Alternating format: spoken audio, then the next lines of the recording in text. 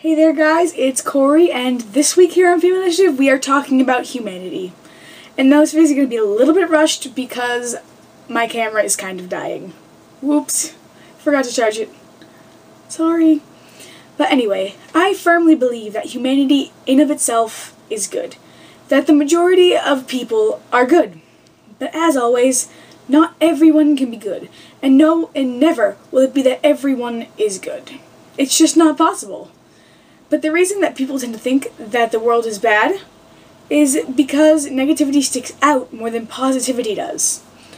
If you know what I mean. Like, you see, if someone gives you a compliment on what you're wearing, you just kind of take it as it is. It's a compliment. It's nice.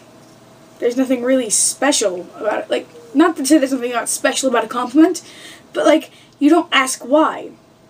When it comes to some, if someone said they hated what you were wearing, you would begin to wonder why, like what's wrong with it. You start to ask questions, and therefore you take more notice of it. So you feel like that one thing can ruin your day. Well, one compliment is just another compliment out of what you got. I mean, there's nothing really much else to say on that.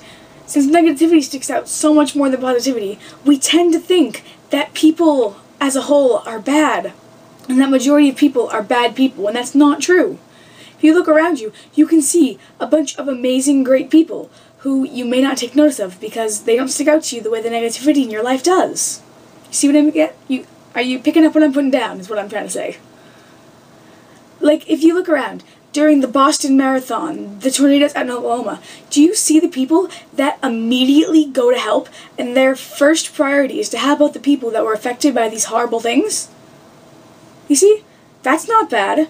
Do you know how many people went to go help and are helping right now? Tons of people.